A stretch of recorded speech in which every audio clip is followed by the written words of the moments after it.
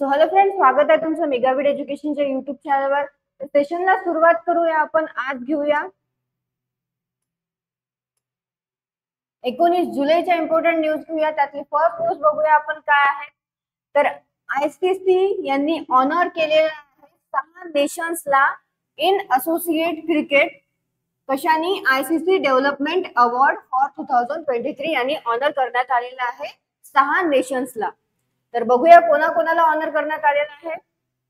तर international cricket काउन्सिलने केलेला आहे honour ICC development award for two thousand twenty three सहा नेशन्सला तर मेक्सिको जी आहे साऊथ अमेरिकन कंट्री जी ओळखल्या जाते तिच्या एक्सिलन्स इन फुटबॉलमध्ये ओके त्यांचं जे एक्सिलन्स आहे क्रिकेटमध्ये म्हणून त्यांना ऑनर करण्यात आलेलं आहे मेक्सिकोला. दुसरे नेशन्स कोणते आहे? Oman the Netherlands the United Arab Emirates Nepal आणि स्कॉटलँड यांना पण ह्या ज्या इमर्जिंग कंट्रीज आहे यांना पण ऑनर करण्यात आलेलं आहे. त्यांचं एफर्ट्स बघता जे कॅलेंडर इयरमध्ये जे स्पोर्ट झालेले आहे त्याच्यामध्ये त्यांचं एफर्ट बघता त्यांना पण ऑनर करण्यात आलेलं आहे ICC development award for two thousand twenty three तर आयसीसी डेव्हलपमेंट अवॉर्ड हा स्टार्ट झालेला आहे दोन हजार दोन मध्ये. आणि रेकग्नाइज करण्यात येते एफर्ट्स आणि achievement of ICC associate members नेशनचे जे जे मेंबर नेशन आहे तर त्यांचे जे अचिव्हमेंट आहे इन क्रिकेट रेकग्नाइज करून त्यांना आयसीसी डेव्हलपमेंट अवॉर्ड हा प्रदान करण्यात येतो. ओमान यांना जिंकलेला आहे हंड्रेड पर्सेंट क्रिकेट फिमेल हे हंड्रेड पर्सेंट ओमानला मिळालेलं आहे. Cricket initiative of the year award okay तर हंड्रेड पर्सेंट क्रिकेट फिमेल यांच्यामध्ये त्यांना cricket initiative of the year award मिळालेला आहे. ओमान यांना ज्यांचा एम आहे रिडिफाईन करणे आणि लँडस्केप ऑफ वुमेन्स क्रिकेट या त्यांच्या कंट्रीमध्ये ओके सो ओमान यांनी लॉन्च केलेला आहे क्रिकेट फॉर हर प्रोग्राम तर क्रिकेट फॉर हर प्रोग्राम पण लॉन्च केलेला आहे ओमाननी बिल्ड करण्याकरता एनकरेज करण्याकरता जे टॅलेंट आहे टॅलेंट डेव्हलपमेंट स्किल एन्हान्समेंट आणि एम्पॉवरमेंट करण्याकरता त्यांनी हे बिल्ड केलेलं आहे cricket for women programme. So next बघूया न्यूज आपण. नेक्स्ट न्यूज आहे India first overseas Jan Aushadhi Kendra हे कुठे बिल्ड करण्यात आलेलं आहे कुठे स्थापित करण्यात आलेलं आहे? मॉरिशियसमध्ये तर बघूया एक्सटर्नल अफेअर्स मिनिस्टर तर आपले एक्सटर्नल अफेअर्स मिनिस्टर कोण आहे? जयशंकर ओके तर जयशंकर जे आहे एक्सटर्नल अफेअर्स मिनिस्टरनी यांनी इनॉग्रेट इनॉग्रेट केलेलं आहे. फर्स्ट जन औषधी केंद्र इंडियाच्या आउटसाइडमध्ये आणि कुठे केलेलं आहे ते? ग्रँड बुईस इन मॉरिशियसमध्ये. आणि प्राईम मिनिस्टर जे मॉरिशियसचे प्राईम मिनिस्टर आहे त्यांच्या प्रेझेन्समध्ये हे इनॉग्रेशन झालेलं आहे. तर मॉरिशियसचे प्राईम मिनिस्टरचं नाव आहे प्रवीण कुमार जुगनोथ ओके यांच्या प्रेझेन्समध्ये ते इनॉग्रेशन झालेलं आहे. तर इंडिया मॉरिशियस हेल्थ पार्टनरशिप हा जो प्रोजेक्ट आहे हा या प्रोजेक्ट थ्रू सप्लाय होणार आहेत cost effective made in India medicines मॉरिशियसला. To increase public health care public health केअरला increase करण्याकरता आणि एनहान्स करण्याकरता वेलबिंग सो त्याच्या आधी डॉक्टर जयशंकर यांनी इनॉग्रेट केलेला आहे मेडी क्लिनिक प्रोजेक्ट पण. ग्रँड बोईस इथे मॉरिशियसच्या ग्रँड बोईस इथे मेडी क्लिनिक पण डॉक्टर जयशंकरने इनॉग्रेट केलेलं आहे So the initiative will provide secondary health care for 16,000 people in the Grand Bois area. तर जे ग्रँड बोईस एरिया आहे मॉरिशियस मधलं तिथे एक या इनिशिएटिव्ह थ्रू प्रोव्हाइड करणार आहेत सेकंडरी हेल्थ केअर सोळा हजार लोकांना तो नेक्स्ट बघूया न्यूज आपण. ओके नेक्स्ट न्यूज आहे. एअर इंडिया यांनी अनवील केलेला आहे व्हॉलेंटरी रिटायरमेंट आणि सेपरेशन स्कीम तर या दोन स्कीम त्यांनी अनवील केलेल्या आहे एअर इंडियाने तर एअर इंडियाने इंट्रोड्यूस केलेल्या त्यांच्या दोन सेपरेशन स्कीम कशासाठी? कोणासाठी? नॉन फ्लाइंग परमनंट स्टाफ करता. जे नॉन फ्लाइंग परमनंट स्टाफ आहेत एअर इंडियाचे त्यांच्याकरता दोन सेपरेशन स्कीम्स त्यांनी अनवील केलेल्या आहेत तर ahead of its merger with Vistara तर जे व्हॉलेंटरी रिटायरमेंट स्कीम फर्स्ट जी आहे ती आहे व्हॉलेंटरी रिटायरमेंट स्कीम जी अवेलेबल राहणार आहेत त्या एम्प्लॉईजला ज्यांची ऍटलिस्ट फाईव्ह इयर्सची सर्व्हिस झालेली आहे. ओके फाईव्ह इयर्सची सर्व्हिस झालेल्या एम्प्लॉईजला ते प्रोव्हाइड करणार आहेत. त्याच्यासाठी अवेलेबल राहणार आहेत व्हॉलेंटरी रिटायरमेंट स्कीम आणि दुसरी जी स्कीम आहे ती आहे व्हॉलेंटरी सेपरेशन स्कीम तर ही कोणाला ऑफर करण्यात येणार आहे? ज्यांची सर्व्हिस ज्या एम्प्लॉईची सर्व्हिस पाच वर्षापेक्षा कमी आहे त्यांना व्हॉलेंटरी सेपरेशन स्कीम ही एअरलाईन प्रोव्हाइड करणार आहेत ऑफर करणार आहेत. तर एअरलाईननी सध्या तरी काही याबद्दलचे डिटेल्स प्रोव्हाइड केलेले नाही आहे पण जे एम्प्लॉई आहे ते व्हॉलेंटरी रिटायरमेंट और सेपरेशन स्कीम करता अप्लाय करू शकतात. ते एम्प्लॉई ऑफर करणार one month period okay one month period राहणार आहे त्या एम्प्लॉईला ऑफर करण्यासाठी व्हॉलेंटरी रिटायरमेंट आणि separation स्कीमला since it privatisation two years go it's the third time हा थर्ड टाइम आहे जेव्हा एअर इंडियाने इंट्रोड्यूस केलेली आहे व्हॉलेंटरी रिटायरमेंट स्कीम त्यांच्या परमनंट स्टाफ करता आणि टाटा ग्रुप जे आहे ती त्यांनी अज्युम केलेला आहे कंट्रोल एअर इंडियावरचा जानेवारी दोन हजार बावीसमध्ये. ओके सो एअर इंडियाने दोन दोन स्कीम लॉन्च केले केलेले आहे.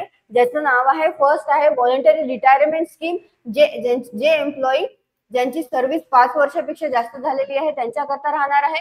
आणि व्हॉलेंटरी सेपरेशन स्कीम ज्यांची सर्व्हिस जी आहे ती पाच वर्षापेक्षा कमी राहणार आहे. त्याच्याकरता ही स्कीम राहणार आहे.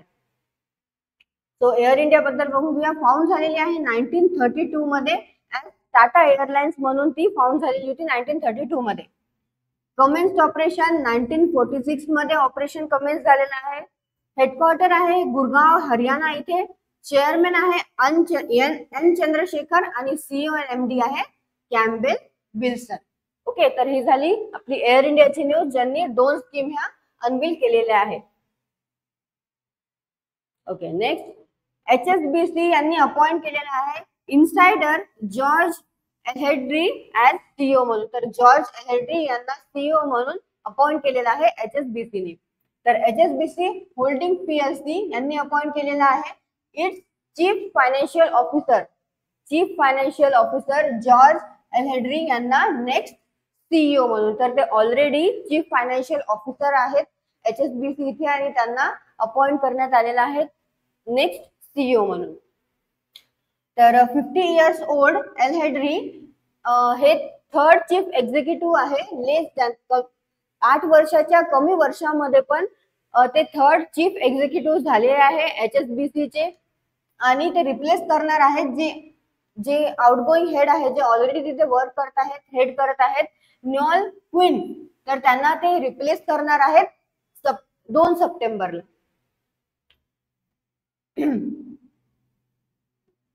तर एच एस बी सी बद्दल बघूया. इंडस्ट्री आहे फायनान्शियल सर्व्हिसेसची इंडस्ट्री आहे H S B C founder आहे सर थॉमस सुथरलँड आणि हेडक्वार्टर आहे लंडन इंग्लंड इथे.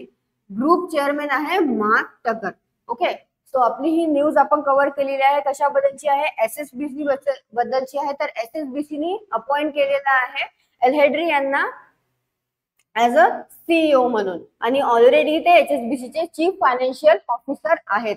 आणि ते रिप्लेस करणार आहेत नॉन क्वीन यांना. नेक्स्ट बघूया.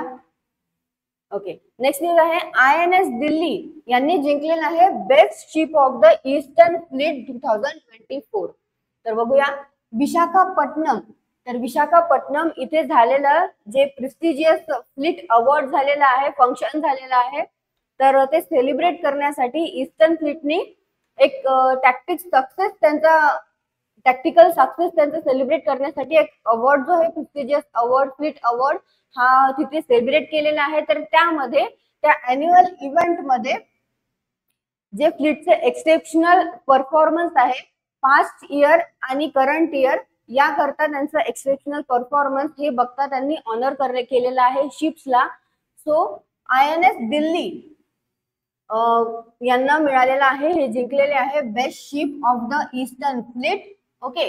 तर फ्लिट अवॉर्ड फंक्शन हे रेकग्नाइज करण्यात येते. आउटस्टँडिंग त्यांचा performance of various ships across different categories मधल्या व्हेरियस शिप्सचा जो आहे त्यांचा आउटस्टँडिंग परफॉर्मन्स तिथे रेकग्नाइज करण्यात येतो या अवॉर्डमध्ये द फ्लिट अवॉर्ड फंक्शनमध्ये. So next I N S Kavaratti यांना पण ऑनर करण्यात आलेला आहे the best ship in category of corvette okay तर यांच्या पण कॅटेगरीज आहेत. तर कॉर्वेट ऑफशोर पेट्रोल वेसल आणि लँडिंग शिप टँक या कॅटेगरीजमध्ये ऑनर करण्यात आलेला आहे ऍज अ बेस्ट शिप म्हणून आय एन एस कावारतीला. सोबतच additionally I N S Shivalik I N S Sumedha I N S Sumitra यांना पण कमेंट करण्यात आलेला आहे फॉर देअर त्यांचे स्पिरिटेड एफर्ट्सबद्दल आणि टॅकलिंग डायव्हर्स चॅलेंजेस मध्ये जे थ्रू आउट द इयर्स त्यांनी केलेले आहे चॅलेंजेस त्याला शोकेस करता त्यांना पण काय करण्यात आलेलं आहे त्यांची फ्लिट्सला वर्सिटिलिटी आणि रेझिलन्सला त्यांना कमेंट करण्यात आलेला आहे. सो आपली ही न्यूज कशाबद्दलची होती की आय एन एस दिल्ली यांनी विन केलेला आहे best ship of the eastern fleet two thousand twenty four okay next आहे. तर जसं आता महाराष्ट्र गव्हर्नमेंटनी माझी लाडकी बहीण योजना काढली होती तसं आता सेम बॉईज करता. तर ही तर वुमेन्ससाठी होती. माझी लाडकी बहीण योजना. तर आता मुलांकरता पण एक योजना काढलेली आहे महाराष्ट्र गव्हर्नमेंटनी तर ती आहे लाडका भाई योजना. तर लाडका भाई योजना हे मुलांसाठी काढलेली आहे. तर त्यामध्ये काय काय आहे? कोण कोण एलिजिबल राहणार आहे ते बघून घेऊया आपण. तर महाराष्ट्र गव्हर्नमेंटने अनाऊन्स केलेले आहे एक नवीन फायनान्शियल असिस्टंट प्रोग्राम स्टुडंट्स करता जे स्टुडंट्स आहे आणि जे रिसेंटली ग्रॅज्युएट झालेले आहे त्यांच्याकरता ही स्कीम त्यांनी अनाऊन्स केलेली आहे महाराष्ट्र गव्हर्नमेंटने तर ती स्कीम आहे लाडका भाई योजना. तर जे स्टेट मधले महाराष्ट्र स्टेट मधले जे मुलं आहेत ज्यांचं ट्वेल्थ झालेलं आहे तर त्यांना मंथली ट्वेल्थ पास आउट आहे. तर त्यांना मंथली स्टायपेंड मिळणार आहेत ऑफ रुपीज सिक्स थाउजंड ज्यांचा डिप्लोमा झालेला आहे जे डिप्लोमा स्टुडंट्स आहेत त्यांना मंथली स्टायपेंड मिळणार आहेत. Rupees eight thousand per month आणि जे ग्रॅज्युएट झालेले आहे ग्रॅज्युएट स्टुडंटला टेन थाउजंड पर मंथ अशी या स्कीममध्ये स्टायपेंड प्रोव्हाइड करणार आहेत महाराष्ट्र गव्हर्नमेंट तर जे स्टायपेंडची अमाऊंट आहे ती व्हॅरी होणार आहे. त्यांचे जे बेनिफिशियरी जे म्हणजे जे स्टुडंट्स आहेत जे बेनिफिशियरी आहे त्याचे क्वालिफिकेशननुसार त्यांचं स्टायपेंड जे आहे ते डिफरंट डिफरंट राहणार आहे. अमाऊंट जे आहे ते चेंज होणार आहेत. तर हे म्हटलेलं आहे जे ऑफिशियल आहे department of skill employment and entrepreneur and इनोव्हेशनचे जे ऑफिशियल आहे त्यांनी असं म्हटलेलं आहे. ओके तर ते थ्रू आउट इंटर्नशिप स्कीम जे नेम्ड मुख्यमंत्री युवा कार्य प्रशिक्षण योजना. ओके तर जी इंटर्नशिप स्कीम आहे ज्याचं नाव आहे मुख्यमंत्री युवा कार्य प्रशिक्षण योजना तर ही महाराष्ट्र गव्हर्नमेंट प्लॅन करत आहे अलोकेट करायचे rupees five thousand five hundred crore to provide monetary assistant unemployment यूथला state मधल्या. ओके सो जे इलिजिबल कॅन्डिडेट्स आहे त्यांची एज एज जी आहे एज लिमिट जे आहे ते eighteen to thirty five okay जे ज्यांची वय एटीन आहे आणि एटीनच्या thirty five thirty five year पर्यंतचे जे युथ आहेत तर ते अप्लाय करू शकणार आहेत. आणि जे महाराष्ट्रामध्ये रेसिडेंट आहे जे महाराष्ट्रामध्येच राहत आहे ते अवेल करू शकणार आहेत ते इलिजिबल राहणार आहेत candidate okay so internship will last for six month सहा मंथ सहा महिन्याकरता हे इंटर्नशिप जी आहे ती राहणार आहेत विथ स्टायपेंड डिस्ट्रीब्युटेड वाय आणि त्यांचं जे स्टायपेंड आहे ते डायरेक्टली त्यांच्या बँक अकाउंटमध्ये ट्रान्सफर करण्यात येणार आहे. आता नेक्स्ट इतर झालं लाडका भाई योजनाबद्दल की त्यांची इलिजिबिलिटी काय राहणार आहे? एटीन टू थर्टी फाईव्ह इयर्सचे जे युथ आहे ते इलिजिबल राहणार आहेत. सोबत ते महाराष्ट्राचे रेसिडेंट सुद्धा असले पाहिजे.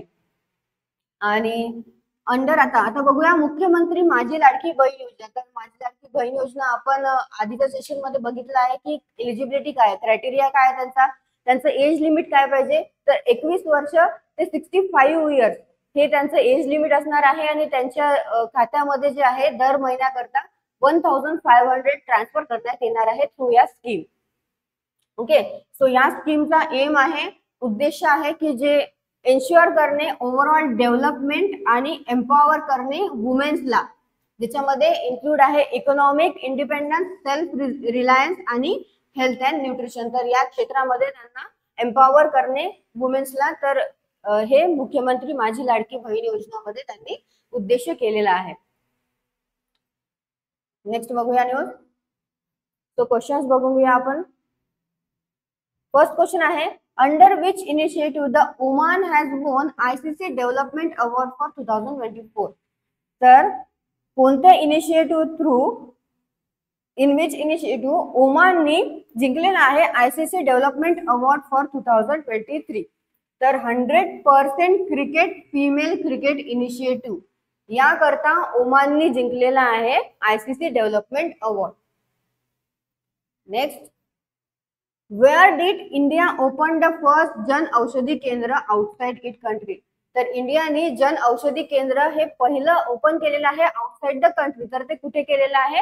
Mauritius grand Bois in Mauritius मॉरिशियसच्या grand Bois इथे त्यांनी outside the country outside the म्हणजे आउटसाइड द कंट्री म्हणजे आउटसाइड द इंडिया त्यांनी लॉन्च केलेला आहे ओपन केलेला आहे. Next Which Indian airline unveils voluntary retirement separation scheme ahead of its merger with Vistara तर दोन अशा स्कीम लॉन्च केलेल्या आहे अनविल केलेल्या आहे. व्हॉलेंटरी रिटायरमेंट आणि सेपरेशन स्कीम्स तर कोणत्या एअरलाईननी केलेल्या आहे ahead of its merger with Vistara तर एअर इंडियाने ह्या दोन स्कीम लॉन्च केलेल्या आहे अनविल केलेल्या आहे. जी आहे व्हॉलेंटरी रिटायरमेंट स्कीम आणि दुसरी आहे voluntary separation scheme next the H S B C holding PLC यांनी अपॉइंट केलेला आहे. ऍज अ नेक्स्ट सीईओ म्हणून कोणाला अपॉइंट केलेला आहे त्यांनी? जॉर्ज एल हेड्री यांना. Next which Indian guided missile destroyer name the best ship of the eastern fleet two thousand twenty four तर जी आय एन एस दिल्ली आहे ओके ती आय एन एस दिल्लीला मिळालेला आहे best ship of the eastern fleet two thousand twenty four तर ती काय आहे? Indian guided missile destroyer Indian guided missile destroyer I N S Delhi आहे. तिला मिळालेला आहे best ship of the eastern fleet two thousand twenty four next under Ladla Bhai Yojana तर Maharashtra government यांनी अनाऊन्स केलेलं आहे किती मंथली स्टायपंड फॉर ग्रॅज्युएट्स तर ग्रॅज्युएट्सला किती मंथली स्टायपंड हे अनाऊन्स केलेलं आहे महाराष्ट्र गव्हर्नमेंटने अंडर लाडला भाई योजना थ्रू तर ten thousand rupees ten thousand monthly हे त्यांच्या बँक खात्यामध्ये डायरेक्टली काय होणार आहे? ट्रान्सफर होणार आहेत. ओके सो तुम्हाला सेशन आवडलं असेल तर सेशनला लाईक करा चॅनलला सबस्क्राईब करा. सोबतच टेलिग्राम आणि इंस्टाग्रामला जॉईन करा. लिंक ही डिस्क्रिप्शन बॉक्समध्ये दिलेली आहे. आणि आजच्या न्यूजची तुम्हाला पीडीएफ हवी असेल तर त्याची पण लिंक डिस्क्रिप्शन बॉक्समध्ये दिलेली आहे. आणि तुम्हाला जसे की आता I B P S clerk I B P S R R B S S C CGL S S C M T S चे नोटिफिकेशन निघाले आहे. आणि आता एक्झाम्स पण येणार आहेत. तर त्याच्या प्रिपरेशन करता तुम्हाला बॅचेस जॉईन करायचे असेल तर तुम्ही बॅचेस सुद्धा जॉईन करू शकता. न्यू बॅचेस स्टार्ट झालेले आहे आमच्या दोन्ही ब्रांचवर दर्डानगर आणि दाते कॉलेज चौक ब्रांचवर तुम्हाला आणखी इन्फॉर्मेशन हवी असेल तर तुम्ही दिलेल्या नंबरवर कॉल सुद्धा करू शकता किंवा इन्स्टिट्यूटला व्हिजिट सुद्धा करू शकता. थँक्यू